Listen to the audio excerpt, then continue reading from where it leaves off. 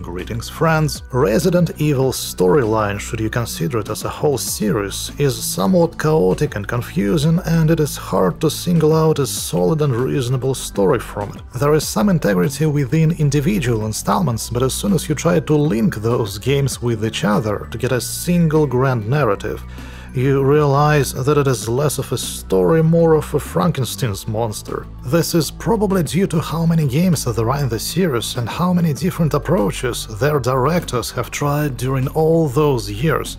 For 25 years, there has been so many plot twists and smaller stories, hence it's unsurprising that uniting them is a difficult task. Thus, in an extremely brief way, cutting off everything redundant from the main plot with a butcher's ferocity, I will try to go through the storyline of Resident Evil games to arrange serious major events in a comprehensible form so that people who were introduced to those with just Lady Dimitrescu, which are many, could have a basic knowledge of what's going on here. In this video we will not consider every installment of the series, only the major ones. Those games the plots of which can be omitted without prejudice to the main story will be left behind. Games will be streamlined not by release date but by plot chronology, therefore prequels will be discussed earlier, although they were obviously released later. If the remake's plot conflicts with the originals one, then the former takes precedence.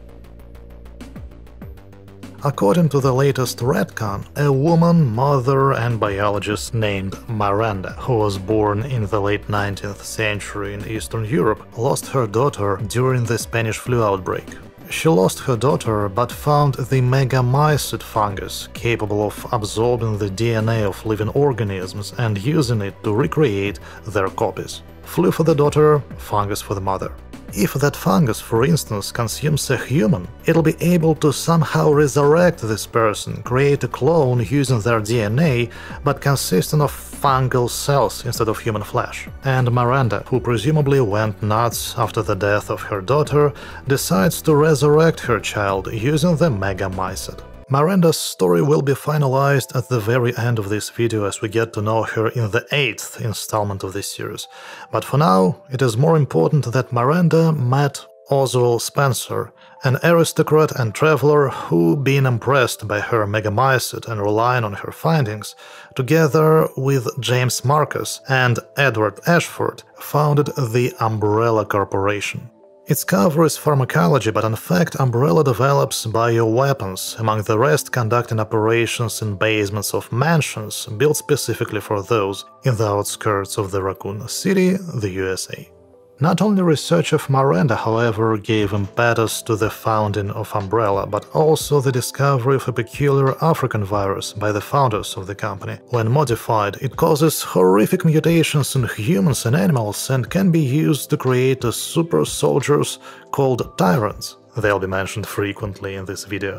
Anyway, Umbrella successfully develops a strain that turns humans into killing monsters, and eventually the virus leaks to the surface where it starts infecting everyone.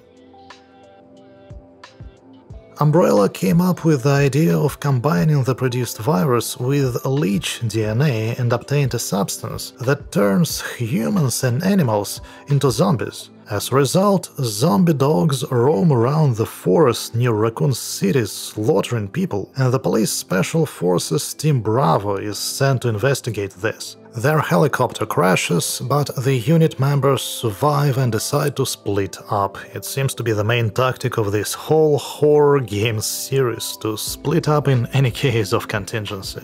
While wandering around in the woods, team medic Rebecca Chambers stumbles upon a train, and inside it she meets a bunch of zombies, which was to be expected, and more importantly, a guy named Billy Coen, who was transported on this train to the death row for a crime he never committed.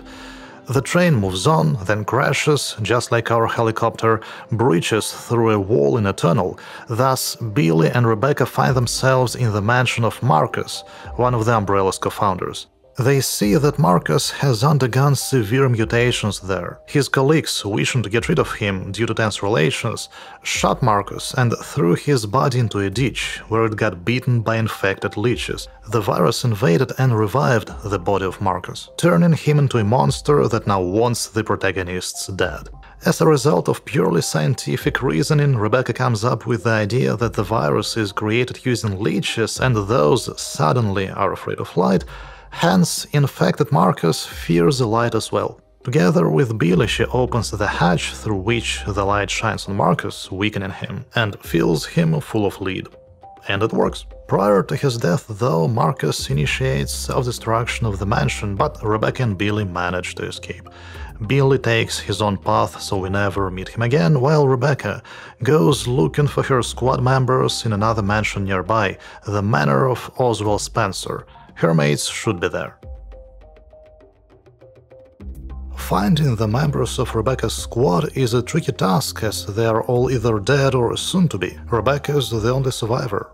Apart from her, headquarters acknowledged casualties among the squad, so they sent Team Alpha for searching consisting of Chris Redfield, Jill Valentine, Albert Wesker and Barry Burton. The player can pick either Chris or Jill, and having reached the mansion, the operatives decide to split up, of course. Barry Burton instantly goes missing, and Wesker turns out to be an Umbrella executive, inserted inside the Special Forces team to prevent them from finding anything in Spencer's manor. Incidentally, it was Wesker who covertly crippled the engine of the Bravo team chopper in the previous game. When all of the survivors gather inside the mansion, Wesker starts hunting them and eventually releases a Tyrant mutant, a prototype bioweapon. By the way, Tyrants are produced with the DNA of a high-ranking Umbrella executive, Sergei Vladimir. Sergei is his first name and Vladimir is his last name, and that is not a totally proper Russian name, because both Sergei and Vladimir are first names. It's like John Kevin. It's theoretically possible, but still ridiculous. My wife has a friend whom everyone calls Dr. Medic, because he's a doctor and he obviously is a medic. He hates it, but it all lines up. Dr. Medic, John Kevin, Sergei Vladimir. Back to the business. This very tyrant is still an experimental one, it doesn't obey orders quite willingly, and its conscious life starts with eliminating Wesker himself. Wesker is not really dead, but we will leave it for now. For now, let's say he's dead. In the meantime, the tyrant starts chasing Jill and Chris, who are assisted in between by Rebecca from Resident Evil Zero. They fight back the tyrant, kill it with a rocket to the belly, and fly away by helicopter into the sunset after initiating self-destruction of this manor as well. Things are far from okay in Raccoon City. People turn into zombies, wild stuff. The only person doing fine is William Birkin, the Umbrella scientist responsible for developing a new strain of their brand virus. Suggesting that there is not much sense in staying in Raccoon City with his family, he decides to leave the city with a virus in his pocket. Employers of Birkin find out about this and send henchmen to him for a friendly chat. However, Birkin is not in the talking mood and being pressed against the wall. He injects himself with his own virus and turns into a monster. Birkin kills offenders, and being driven by his new animal instincts, starts chasing his own daughter Sherry to lay eggs into her. This can be done only with a body of similar DNA, and Birkin has no other blood relatives nearby. Not only the crazy mutant dad is chasing Sherry in Raccoon City, another tyrant, Mr. X, is looking for her as well, programmed to search for the virus sample stolen from the lab, which Birkin hid inside the medallion of his daughter from his former employers. Yes, I know that's confusing. At the same time, rookie cop Leon Kennedy and student Claire Redfield, sister of Chris Redfield from the first chapter, arrive in the city. Chris left for Europe to fight Umbrella without telling anyone, and now his sister is seeking him, starting from Raccoon City, where he was recently, as Claire knows. Both Claire and Leon are the protagonists. They meet by chance, help each other, but split up soon as this is the physiological need of all characters in this universe. After that, they act mostly independently. Young and green Leon meets young and seasoned Ada Wong, a cold-blooded spy working for unnamed competitors of Umbrella and hunting for the virus as well, but deep inside she is not alien for love. Leon dashes into the line of fire for Ada, uh, shielding her with his body, and even snatches the virus sample from the lab for her, being confident that Ada is from the FBI. Eventually, Leon gets to know her true aims, as well as that she is not from the FBI, but unable to resist his affection, forgives her and continues to love her. Ada, in turn, also doesn't leave Leon to die, although she could, and assists him in a boss fight. The main role of this couple in the plot, apart from loving each other against all odds, is to finish Mr. X with a rocket launcher and activate the self-destruction of the Umbrella Lab. That's just some relationship goals here. While doing that, Ada falls dramatically into the abyss after the virus vial. Leon supposes that Ada is done, but in fact she survives and, albeit without the virus, hits the road away from Raccoon City. As all people should. This was Leon's storyline, or if you wish, Ada's storyline. Speaking of Claire, let's rewind time and look at this story from a different angle. She meets little Sherry, Birkin's daughter, who carries a medallion containing the virus.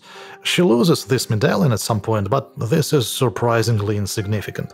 Sherry faces two major problems after meeting Claire. First, she is kidnapped by a crooked police chief, though he is dealt with shortly after by insane Birkin, who is persecuting his daughter. Second, Birkin still manages to lay eggs in Sherry, and despite she escapes from him, mutant eggs in the body of the girl are no joke. Then Annette, her mother and Birkin's wife, comes to the rescue. She is a completely mad scientist as well, obsessed with the intention of preventing anyone from stealing the virus sample created by her husband. In the end, ironically, it is Annette's husband who finishes her, since he is already a monster deprived of reason. But before her death, she had finally done some good and helped to cook a remedy for eggs in her daughter. Sherry is healed, and along with Claire and Leon, whose storylines coincide once again at this point, they hop on a train, where for the final time they are attacked by irreversibly mutated Birkin.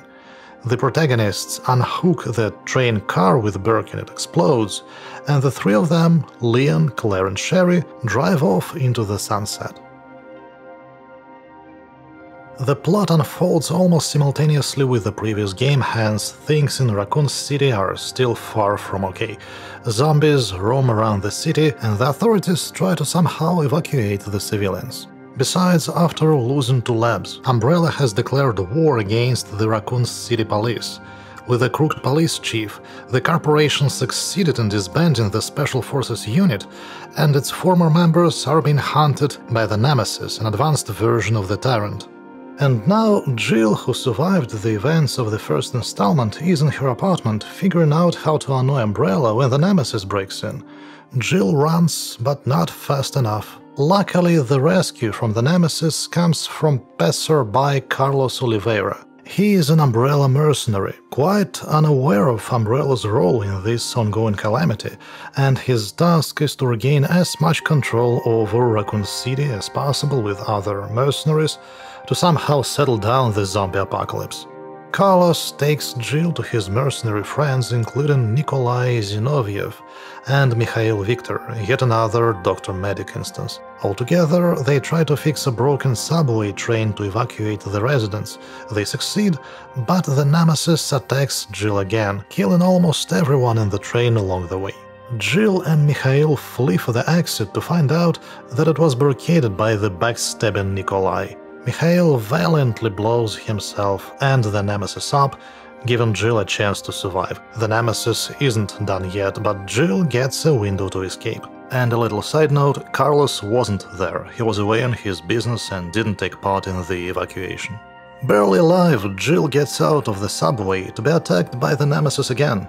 Although she manages to fight back, the tyrant still infects her with the virus, causing Jill to pass out. Carlos locates her, brings her to a hospital and finds a cure in the nearby lab. After the injection, Jill recovers and they receive a sudden announcement that the authorities have made a desperate decision to nuke the city in order to prevent the spread of the zombifying disease. The military is in the talking mood, however, for the time being. If Jill and her friends provide the authorities with a cure for the virus timely, the bombing will be averted. Jill and Carlos rush to the lab, where Carlos got the first dose, to obtain the second one. Their way is obstructed by Nikolai, who shuts down the elevator and releases mutants, although Jill manages to get an antidote capsule and even annihilate the Nemesis with a railgun. Everything would be fine if not for Nikolai. He wounds Carlos, seizes the capsule from Jill and shatters it, dooming Raccoon City to the nuclear apocalypse instead of the zombie one. Together, Carlos and Jill overpower Nikolai and hop on a helicopter. Nikolai begs them to save him in exchange for the information on his employers, but Jill refuses. Both Nikolai and Raccoon City are split. They split again, I told you, they do it all the time. They are split into atoms by the military, who never received the antidote, while Jill and Carlos fly off into the sunset. Claire Redfield carries on with her search for brother Chris. She didn't find him in Raccoon City as he was already in Europe by then, so now she is en route to Europe, Paris to be precise. There has been progress in her search. In Paris, however, she gets captured quickly by Umbrella security and incarcerated in a private prison in the middle of the ocean. At this moment, the island is sabotaged by Albert Wesker, the well-known Umbrella agent from previous installments, and a superhuman, by the way, who survived through a series of experiments, acquiring unprecedented strength, dexterity and vitality, thanks to which he got over the events of the first game. Experiments on Wesker were carried out then by the co-founder of Umbrella, Oswald Spencer, Eventually, he was slain by Wesker, arguing that it is only him, Wesker, who has the right to become a god. What he actually meant will be clear a little later. At some point, Wesker betrayed Umbrella for the organization named The Organization. Yep, that's its name. Sergei Vladimir, Mikhail Victor, Dr. Medic, the organization organization. I gotta admit that screenwriters are at least consistent in their trolling. So Wesker is now sabotaging Umbrella trying to snatch a sample of another virus, codenamed T. Veronica from his former employer. Among these diversions is the spread of the default Umbrella virus on the island where Claire is imprisoned. Not the T. Veronica, but the one that zombified people in Raccoon City. The island plunges into the zombie apocalypse, well known to players, so the jailers set the prisoners free like we're doomed anyways, so do whatever you want. And Claire is released as well. She teams up with another ex-convict, a guy named Steve Burnside, and the two reach a plane to escape. However, the owner of the island, Alfred Ashford, insane and suffering from split personality, the son of that Umbrella co-founder Edward Ashford, is unhappy with the prison break and calls their transport back, well not quite back, but to Antarctica, to another Umbrella base. Alfred disables the aircraft's manual controls, turns on the autopilot and forcibly launches Claire and Steve to the South Pole. Incredibly enough, it turns out the base in Antarctica is the place where T. Veronica virus is contained. To be exact, it is hosted in the body of Alexia, Alfred's sister, who developed the virus 15 years ago and locked herself in a cryochamber after injecting herself with it independently of each other, Ashford, Wesker and Chris fly to Antarctica as well. Chris finds out what trouble his sister has got into and hurries to her rescue, and all main characters of the game eventually find themselves at the Umbrella Base at the South Pole.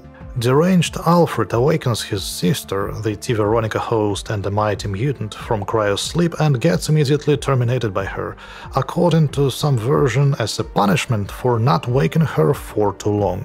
Then Alexia captures Claire and Steve for experiments. Chris arrives at the island, sets Claire free, and together they release Steve. It turns out that Steve had already been infected with T. Veronica. A multi-stage fight ensues.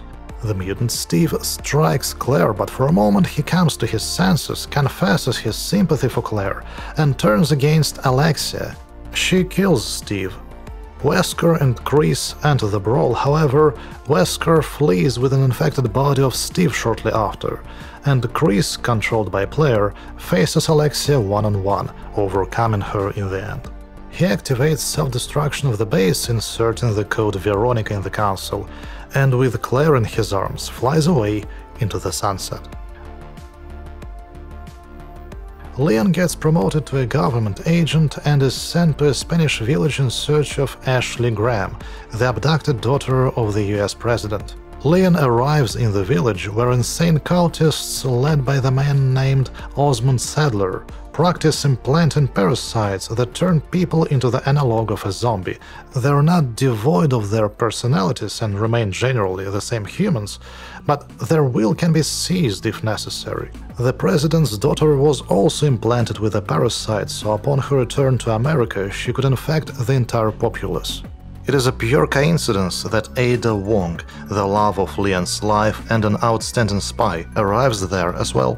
In this storyline, she works for Wesker, who sends her there to get a bunch of these parasites for him. The force of love and circumstances make Leon and Ada, who pursue different goals, to join efforts, so together they free Ashley from captivity.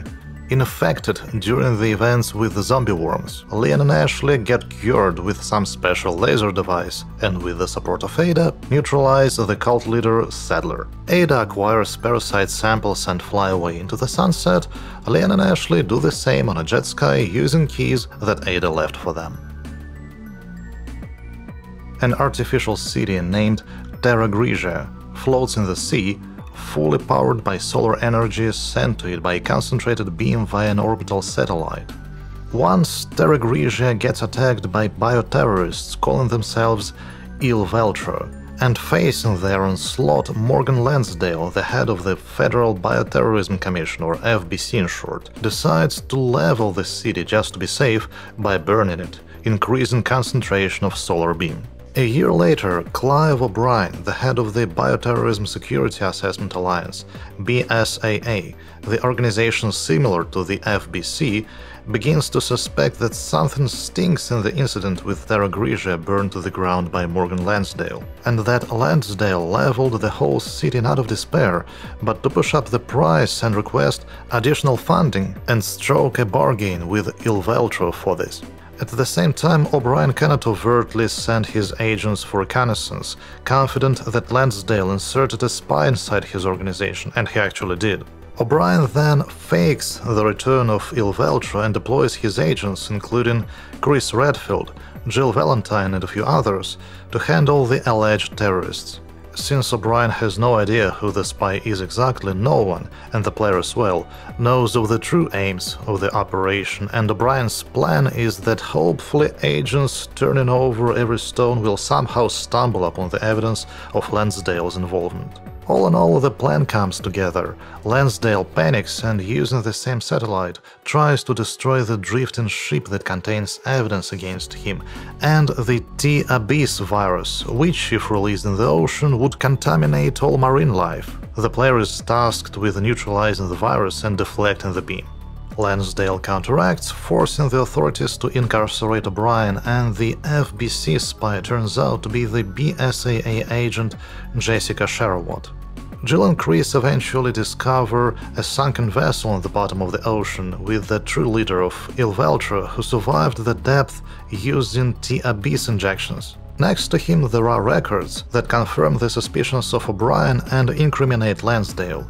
Il Veltro leader mutates into the final boss, the protagonists defeat him and send the records to the headquarters. O'Brian gets released, Lansdale arrested, the FBC disbanded, the BSAA gets resources and influence.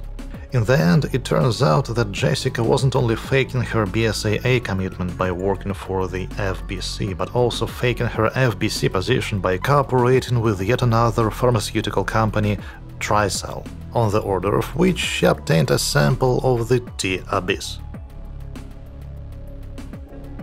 After all the defeats that Umbrella suffered from the player, the corporation is shut down but is replaced by another evil pharmaceutical institution, Tricell, which was mentioned earlier. Formally, the company is run by Excella Gionne, but de facto it is a part of the project by Albert Wesker. Just to remind you, he had undergone genetic trials before, endowing him with supernatural strength and endurance, and had survived at the same time, unlike most other test subjects. Wesker decided to subject the entire populace to these experiments. The weak would die, and the strong would form a new community of superhumans which would be reigned by Wesker. To achieve this, he came up with the idea of mixing African flowers that were used to extract the brand Umbrella tyrant-making virus with parasitic worms from the fourth chapter. Supposedly, with these ingredients, one can make a drug capable of bringing humanity to a new tier of evolution. Most people will die, but the rest will turn into superhumans, immune to any disease. This project is called Uroboros. While working on Uroboros, Wesker faces the BSAA, specifically Chris Redfield and Jill Valentine, and seemingly kills the latter. Sometime later, the BSAA sends Chris, meaning the player, to Africa to bust a bioweapons dealer Ricardo Irving with other agents. Chris gets a settlement that needs his help marked on a map. Upon arrival, he encounters a pile of agents' corpses and a horde of zombies infected with parasites already well known to the player. Chris, accompanied by his partner Sheva Alomar, tracks down and corners Irving. Irving infects himself with a parasite and turns into a squid boss to be soon dead at the hands of Chris. At death's door, Irving rats his superiors out. Look for Excella, he says. She is in another cave, not a castle. Although we seem to complete our mission having neutralized Irving, our conscience whispers that it is no time for homecoming.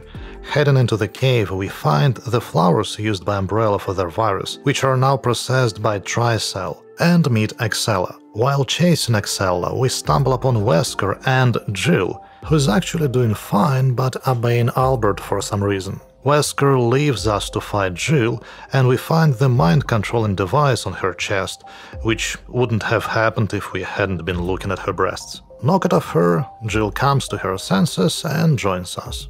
Yet again we pursue Guillaume and Wesker. Albert infects Excella with a virus, thus she turns into a boss and dies at our hands. Wesker then fights us and we throw him into an active volcano. Wesker injects himself with the Uroboros superdrug and evolves into the final boss to get a double RPG missile in his face, fall back in the volcano and burn to a crisp in the lava once and for all. The power of lava. It turns out that Albert Wesker had a sister, Alex, who was also subjected to Umbrella experiments. Umbrella is gone and Alex misses the experiments, so she intends to learn how to transfer human consciousness between bodies to ensure an eternal life. She masters her technology but faces an issue. One can only transfer themselves into the body of a person who knows no fear. Should they get scared, the process fails. For her experiments, Alex abducts Claire Redfield, the well-known protagonist of this series. Moira Burton, the daughter of Barry Burton, whom we met at the beginning of the first game, and Natalia Korda, the girl who lost her parents during the Terra Grigia catastrophe and forfeited fear. To keep it super short, Barry Burton comes to rescue his daughter. Altogether, Barry, Moira and Claire they whack Alex and fly away on a helicopter into the sunset. Barry promises to adopt Natalia, and in the post-credits scene she claims to be free at last, grinning ominously at the camera. Apparently Alex has managed to settle on her body successfully. The plot of the sixth installment consists of several campaigns with its own protagonist for each one. All these stories are interconnected, although it seems opposite at first. 15 years have passed since Raccoon City has been destroyed and the US president decides to declassify the information of this incident. However, he misses the chance to do so and, in front of government agents Leon Kennedy and Helena Harper, he turns into a zombie. Leon is left with no other options but to kill him, so he is accused of assassinating the president, which is technically what he actually did. What happened? Derek Simmons, the leader of the secret organization called The Family, is a die-hard patriot who believes that revealing the truth about Raccoon City will hurt the international political image of the USA, and it would be better to prevent public discussions on the bioweapons. Moreover, it would be wiser, he thinks, to make the bioweapons an instrument of the elite such as Derek Simmons, and the less it is in the public eye, the better. Because you never know whom it will fall into the hands of, while Derek would only use it to defend America. Following this logic, Derek hired Nikolai Zinoviev and lobbied for a nuclear strike on Raccoon City, as we remember it in the third installment. And in the sixth, it is Derek who orchestrated the poisoning of the president with umbrella virus. To achieve this, he abducted Deborah, sister of Helena, and forced Helena to lower the president's guard. Helena did everything required from her, yet Derek never planned to set her sister free. He subjected Deborah to experiments, and having nothing to lose anymore, Helena and Leon set out to rescue Deborah before it was too late. Well, it is too late. Deborah turns into a boss. Ada comes to assist Helena and Leon, and the three of them kill Deborah first, then Derek Simmons. The protagonists obtain the evidence of Leon's innocence that leads to the withdrawal of the charges. Now is the campaign of Chris. Derek Simmons, dead by this point, was very fond of stability. It was crucial for him to maintain the status quo and prevent the president from violating it. Derek was also very fond of Ada Wong, whom he hired from time to time for special tasks. When she refused to do business with him, Derek lost his peace of mind to the extent that he turned his employee Carla Radames into the clone of Ada Wong using the virus developed by Carla. Carla, who is not really Carla by now, didn't appreciate this deed, rebelled, and to piss off Derek, founded the New Umbrella terrorist organization. Its name obviously is a reference to Just Umbrella, although they are not related in any way. Carla knew that Derek was a fan of world stability, so to spite him as much as possible, she decided to destabilize everything and immerse him into a post-apocalyptic world. Carla sets up a bioterrorist attack so the BSAA deploys Chris Redfield, Pierce Nivens, and a few other agents to counter it. Chris and Pierce identify Ada Wong as the leader of New Umbrella, unaware that this in fact is Carla Radames. Chris fails to thwart the attack, and so Radames successfully infects the Chinese city of Tachi, turning its residents into zombies. The family gets to Carla before Chris, seemingly killing her with a shot in her chest. Well, Carla is a hard nut to crack, so she evolves into a giant shapeless biomass. Then the true Ada Wong appears to deliver Carla, a clone of Ada, a fatal blow by taking a shot at a nearby tank with liquid nitrogen, thus freezing Carla to death. Nonetheless, the entire Chinese city is now contaminated with a zombifying virus. The disease is spreading rapidly, posing a drastic threat to the whole world. Chris and Pierce come up with an idea. Jake Muller, the bastard son of Albert Wesker, is being held at a secret underwater base of New Umbrella. Just like his father, Jake is immune to all diseases including this virus. If Jake could be released from captivity, then his gene material could be used to develop a vaccine. Chris and Pierce set off to this base in search of Jake, encountering a mean and tough monster named Haos besides him, that was programmed to awaken should Carla, the head of New Umbrella, decease. Carla is dead and Haos is up to wreak chaos. Chris and Pierce distract Haos, allowing Jake to escape, but are unable to defeat it in the fair fight. Pierce opts for injecting himself with the virus that he and Chris took from Carla, hence turning into a bioweapon. The mutated Pierce defeats Haos and convinces Chris to flee the damaged and therefore sinking underwater base alone. Here comes Jake's campaign, where we basically know all the twists already.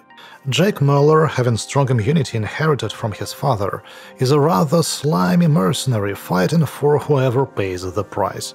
Now he is on the payroll of New Umbrella. The organization provides its militants with virus injections that turn them into bioweapons.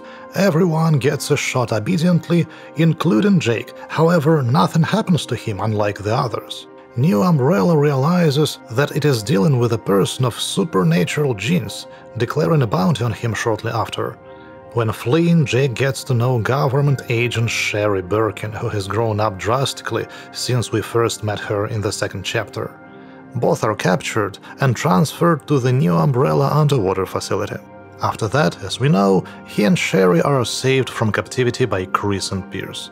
Jake leaves the new Umbrella prison being not only free but also a different person. The friendship with Sherry altered his mindset, and if earlier he demanded $50 million for half a liter of his blood for vaccine research, now he's willing to save humanity almost for free for a token fee of 50 bucks.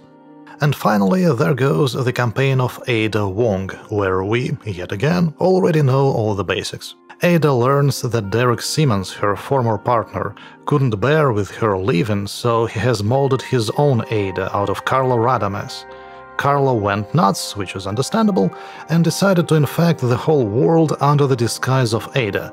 Before the real Ada faces her evil copy, she helps Leon and Helena to deal with Derek, secretly assists Jake and Sherry, hides from Chris and Pierce, who believe that it is Ada, not Carla, who is in charge of New Umbrella. And eventually, Ada smashes the copy of herself, Carla Radames. Chris confirms with his own eyes that Ada is gone, unsuspecting that it was her doppelganger, so the only people who are aware that Ada is in fact alive are Leon and Helena. Sneaky Ada seems to be completely content with this matter. The secret criminal organization named The Connections, founded by a former member of Umbrella and engaged into bioweapons production, contacts Miranda, who, as we remember, discovered the megamycete, a fungus capable of absorbing human DNA to create a copy of this person, but consisting of fungal cells. Such a copy will retain its human consciousness and appearance, and it'll be able to breed like a normal person, but its offspring will consist of the mold, which is a very special mold. The connections offer Miranda assistance in resurrecting her daughter in exchange for her fungi samples, and she agrees. What Miranda did after will be revealed several minutes later when we cover the eighth installment, but as for now, the connections use the obtained materials to produce Evelyn, a bioweapon girl with strong psionic abilities, who can easily control the mind of anyone whom she contacts. With all her abilities, Evelyn also features two quirks. First, she is aging quickly apparently due to the technology of her creation being not yet mastered. Even though Evelyn is around 7 years old by the beginning of the game, she has a body of a granny. Nonetheless, it is a piece of cake for Evelyn to telepathically instill her childish image in people's minds, so that everyone perceives her as a child. Second, she is mentally unstable and completely obsessed with having a family, partly because she is a test tube entity and lacks love and care, and partly because this is an effective manipulative pattern embedded into her by the manufacturer. It is easier to gain trust of a victim as a child dreaming of a family. The connections transfer Evelyn by ship to America, and two of their scientists, Alan Droney and Mia Winters, are assigned to babysit her in the process.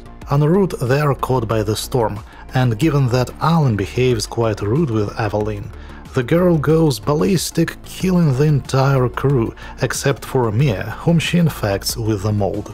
The vessel is brought to the shores of Louisiana, and the survivors, Mia and Evelyn, are picked up by Jack Baker, the father of a quite normal Baker family. Evelyn freaks out on the poor bakers. She infects them with the mold, subjugates their minds, and plays with them in her cruel game. Jack, being taken over by Evelyn, abducts people and brings them home, where they are turned into new family members, the Molded. Mia Winters is held hostage by Evelyn and the Bakers as well. She had spent three years there before her husband, Ethan, totally unaware that his wife worked for the bioterrorist organization and that she is still alive, received a message allegedly from Mia with a plea to comfort her and a return address. Surely, being the protagonist of this game, Ethan comes, although it wasn't Mia who sent the message. It's a trap. Ethan infiltrates the baker's house and gets instantly killed by Jack. Shortly after, Ethan wakes up in a pretty good shape, but, spoiler alert for the 8th game, this is no longer him. The Megamycete cloned Ethan, including his consciousness and DNA. Ethan is, in fact, the mold now, in the shape of former self, Ethan has no clue about this, and most importantly, the player doesn't know this either. It's the grand plot twist of the ending of the 8th installment of the next game. Anyway, the so-called Ethan wakes up to get out of the trap and save his wife. At this point, everyone seems to be irrecoverably contaminated apart from Mia Winters and Zoe Baker, the daughter of Jake, who had the least contact with Evelyn, thus is less affected by her influence. So Ethan reaches out to her to work their way out together. Ethan engages into several skirmishes with the Bakers, solves riddles and stays alive for as much as possible, which technically isn't possible at all since he's already dead. Skipping the details, Ethan has got to get enough ingredients for Zoe so she could brew two doses of an anti-mold drug. Ethan brings the ingredients to Zoe, she manages to make the vaccine, and here Jack comes to the stage again, so our protagonist has no other option to defeat him but to inject him with one of the two doses, since Jack is virtually immortal thanks to the fungi that replaced his entire body. Jack dies because of the drug as he is nothing more than the mold, and in the canon version, Ethan gives the remaining dose to Mia, promising Zoe to help her later. Now is the time to deal with Evelyn. Fortunately, Ethan finds the laboratory of Lucas Baker, who, as it turns out, has been collaborating all the time with the connections that were safely watching Evelyn in the Baker's house from a safe distance. Lucas has been reporting everything to them and receiving the vaccine in return, so Evelyn couldn't control him. So Lucas is kind of nuts by his nature, not because of Evelyn, so probably this family wasn't alright even before her. In the lab of Lucas, Ethan synthesizes a necrotoxin developed by the Connections specifically to neutralize Evelyn if necessary, and comes back to the house with this serum. He meets with Evelyn one on one, resists her hypnosis with his strong will, and injects her with the necrotoxin. However, Evelyn has grown stronger by that moment, so she doesn't collapse from the serum but turns into a colossal mutant instead. Normal bullets against her are like peace due to the enormous health regeneration, but then Chris Redfield arrives with his BSAA detachment to the rescue and drops Ethan a special pistol that shoots anti-regen rounds. They make a killing impression on Evelyn and Ethan and Mia are evacuated by the BSAA helicopter, thus concluding the main game. There are two add-ons to the main game, however. In the first one, Chris Redfield, having evacuated the Winters, stays on the scene to hunt down and finish off Lucas Baker. The second one is devoted to Zoe, who's left with no drug and for whom Ethan promised to return but never did. It should be mentioned that after the collapse of Umbrella, Blue Umbrella, a decent organization that cleans up the mess created by the Bad Umbrella, was created. Ethan reports to them that there is some Zoe who needs help. Blue Umbrella sends field agents who do locate a barely alive Zoe, but then get knocked down by Joe Baker, also a family member and the brother of Jack, whose solitary lifestyle made him miss all the fun, so he has no idea what happened in the main game. Joe supposes that Blue Umbrella is here to kidnap his nephew Zoe. Eventually he understands what's what, but the dose brought by Blue Umbrella is not enough for Zoe, and one more is required. Besides, Jack, whom we thought we killed, suddenly appears, and he is not dead, so Joe has to take Jack down again, here a power gauntlet comes in handy, and make another dose of the vaccine. Joe succeeds in both tasks, a helicopter comes for Zoe and she gets better. Finally, it is Miranda's time. She lives in Romania and by the beginning of the game she is already around 150 years old. But that is alright, the knowledge gained from experiments with the Megamycete allows her to cope with all sorts of issues.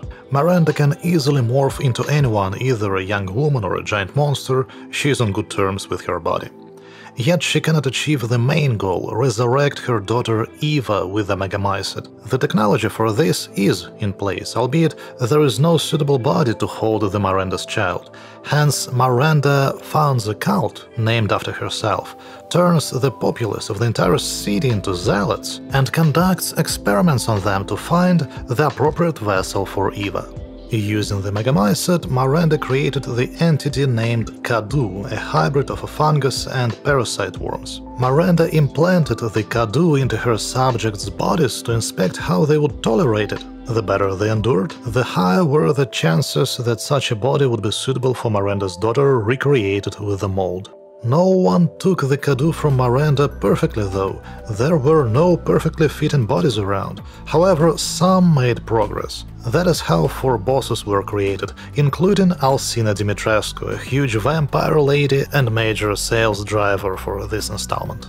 And not only bosses, but all other lesser foes are also the result of the Cadou's implantation.